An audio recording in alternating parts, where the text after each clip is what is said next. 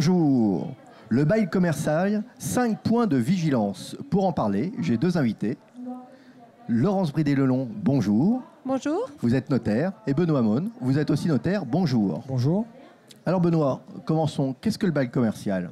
Alors, le bail commercial, c'est tout d'abord un contrat qui est signé entre un bailleur et un locataire. Jusque-là, rien de, rien d'ana- de spécifique. Mais ce contrat, il, il- il a une spécificité, c'est qu'il confère au locataire la propriété commerciale. Ça veut dire que le locataire, quand il signe ce contrat, il a des obligations qui sont plus importantes que dans les autres contrats classiques. C'est-à-dire, tout le monde a entendu le bail 369. Ça veut dire simplement que le locataire a la possibilité d'exploiter pendant 9 ans.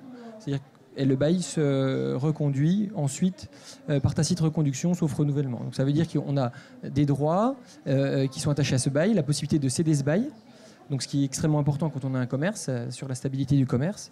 Et puis également on a un droit au renouvellement, il est d'ordre public. Donc ça, ça fait partie des éléments qui sont euh, contraints, je dirais. Et puis après, il y a des choses que l'on peut négocier aussi. Comment ça se passe? Il y, a, il y a vraiment les deux éléments que nous avons dans le bail? Tout à fait. Donc les dispositions qui résultent de la loi qu'on ne peut pas modifier, juridiquement on dit auxquelles on ne peut pas déroger, sont des dispositions d'ordre public. Donc bien que les parties veuillent euh, passer outre, elles ne, ple- elles ne le peuvent pas. Donc ça c'est un- le statut euh, qui protège le locataire. Et il y a des dispositions euh, qui peuvent être négociées, donc qui ne sont pas d'ordre public, euh, qui peuvent donc être négociées par les parties à leur guise, euh, en fonction de, bah, de leurs besoins ou euh, du rapport qu'il y a entre les deux. Quel exemple auriez-vous sur ces, ces éléments de négociation? Alors, il y a un élément qui est extrêmement important, c'est celui relatif aux travaux. En général, euh, le propriétaire euh, souhaite mettre le maximum de charges, euh, on va dire, euh, à la au- mise au paiement du locataire, donc notamment les grosses réparations, euh, les travaux. Aujourd'hui, euh, le socle qui, sur lequel on ne peut pas déroger, c'est les grosses réparations, elles sont toujours, elles, à la charge du propriétaire. Voilà. Par contre, tout le reste euh, peut être mis à la charge du locataire en matière de réparation. Il y a des petites subtilités, mais en gros, c'est cela. Donc on voit, il y a quand même beaucoup d'éléments sur ce, ce bail commercial. Alors, Laurence, quel est le, le rôle du notaire sur un, un sujet comme celui-ci? Le rôle du notaire est, est important, voire primordial. Euh, euh, nombreuses euh, jurisprudences en fait, naissent de, la mauvaise rédaction d'un bail commercial. Donc pourquoi? Parce que ce sont des contrats qui n'ont pas été visés par un professionnel. Alors quel est l'œil du notaire? On peut dire qu'il y a six points. Le premier point, c'est que le notaire est garant de la sécurité juridique. Le notaire respecte les lois, est à jour des lois, il a la compétence pour que le bail soit fait de manière sécuri- sécurisée. Le deuxième point, c'est que le notaire a un véritable ancrage territorial. Il connaît sa ville, il connaît euh, les prix des loyers, il connaît, j'irais même presque les, les immeubles qui sont concernés. Donc ça, c'est un véritable atout.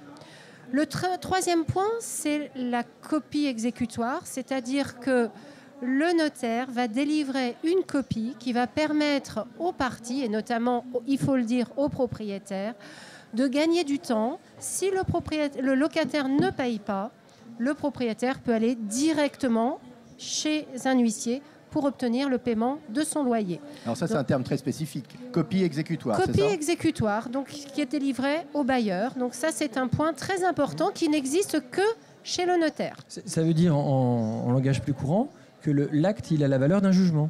C'est-à-dire qu'on n'est pas les- on n'a pas l'obligation de porter une demande par avocat devant le tribunal pour obtenir une décision de justice qui permet d'obtenir ce que l'on souhaite. L'acte en lui-même permet d'aller voir un huissier et de le faire euh, appliquer. Donc d'autres points qui concernent le notaire, c'est que le notaire euh, va véritablement avoir une réflexion sur le risque patrimonial. C'est-à-dire qu'il va euh, envisager, conseiller le chef d'entreprise sur son régime matrimonial. Et c'est important le régime matrimonial quand on est chef d'entreprise. Est-ce que je suis en communauté? Quels sont les risques de la communauté? Est-ce qu'il faut un contrat de mariage? Est-ce qu'il faut protéger mes enfants? Donc le notaire va avoir cette vision euh, spécifique pour le chef d'entreprise, dans le cadre du bail commercial bien sûr, mais également dans le cadre de la société, de l'entreprise, de la vie de l'entreprise. Le notaire aura également une vision sur la protection des biens, la protection des biens du, chef d'entreprise, la protection des proches. Donc ça, c'est une spécificité du notaire.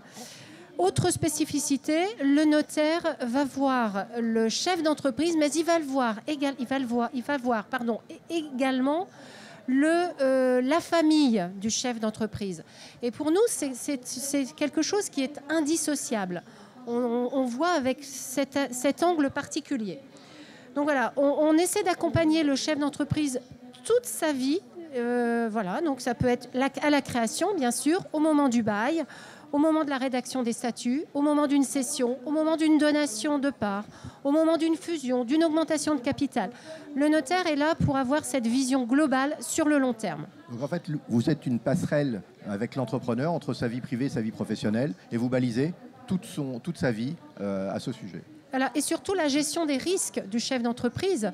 On va euh, parler du décès, on va parler malheureusement des conflits, on va parler des, des divorces peut pas ne pas en parler, malheureusement. Voilà.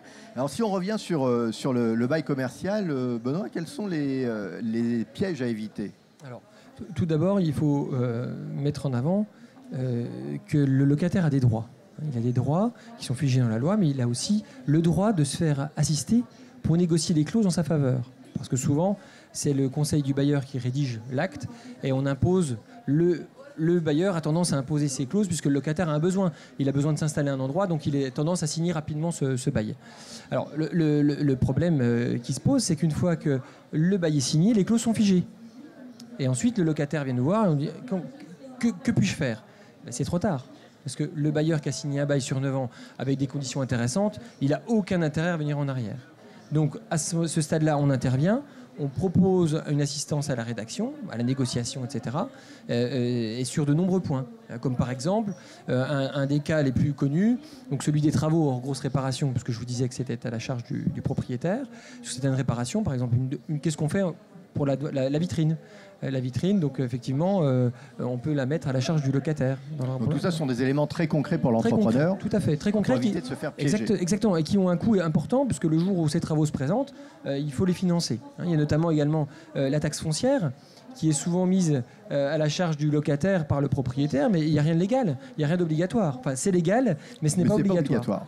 Voilà, donc c'est des subtilités que le locataire ne connaît pas forcément et sur lesquelles il a besoin de, de conseils, d'accompagnement.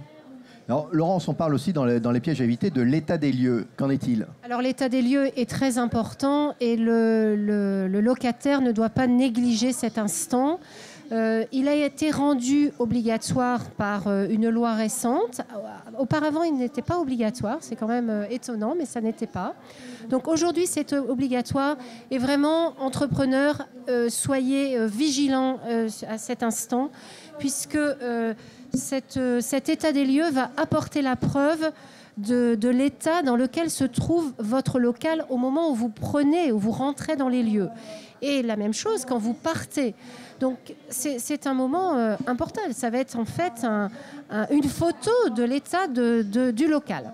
Alors pourquoi est-ce important? Parce que ce qui est en jeu, c'est le dépôt de garantie. Vous avez versé un montant. Je rappelle d'ailleurs que le dépôt de garantie est un montant libre Hein, à la base.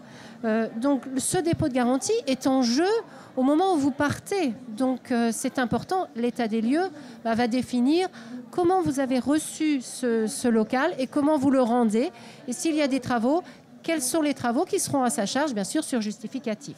Donc l'état des lieux n'est pas à prendre à la légère, on le comprend. Euh, après, quand on veut signer un, bail commercial, on, parle souvent d'une durée de 9 ans, on l'a évoqué en, en préambule. Peut-on faire moins? Alors, le bail, en principe, est d'une durée de 9 ans. Il peut être d'une durée supérieure. Peut-il être d'une durée inférieure? Oui. Et le créateur a intérêt de se poser cette question, puisque s'engager pour 9 ans, c'est bien, c'est une certaine sécurité que, le législateur a voulu. Mais est-ce judicieux pour le créateur? Peut-être a-t-il intérêt de faire un bail d'une durée inférieure, et la loi l'autorise, hein, le Code de commerce l'autorise, donc de faire un bail à partir du moment où il n'a pas une durée maximum de 3 ans, puisqu'après, on, passe automatiquement euh, sous un bail commercial 369. Donc c'est important avant de se lancer dans, le long terme de savoir si une petite durée pour commencer n'est pas euh, préférable. Alors, on voit que c'est un contrat, donc il y a des obligations de, part et d'autre. Euh, Benoît, quelles sont les, obligations par rapport aux locataires, alors justement? Les obligations par rapport au, du propriétaire par rapport au locataire. On a vu que ce locataire est situé comme dans une situation un peu délicate vis-à-vis du propriétaire. Donc le législateur en a tenu compte. Euh, récemment, il en a tenu compte dans une loi qui impose désormais au, propriétaire d'informer le locataire sur les charges qui seront à, payer. Et il a l'obligation également de donner les justificatifs de ces charges. Parce que vous pouvez être dans des, locaux sur lesquels pèsent des charges extrêmement euh, importantes et qui, euh, lorsqu'elles ne sont pas maîtrisées, peuvent conduire à des problèmes de trésorerie. Alors, il y a, cette, question des charges, également, deuxièmement, la question relative aux travaux, puisque quand vous rentrez dans un local, euh, qu'on met tous les travaux à votre charge, excepté les, les grosses réparations, bah, le bailleur, après, peut exiger que vous réalisiez ces travaux. Donc, pour éviter d'avoir des mauvaises surprises dans, le début d'exercice, la loi prévoit que dans le bail, le bailleur euh, euh, a une obligation d'informer le locataire sur les travaux qu'il envisage de réaliser dans les trois années à venir. Donc, à la lecture de, tout ça, Laurence, on, s'aperçoit qu'il y a un accompagnement qui s'avère extrêmement nécessaire. pourquoi le notaire?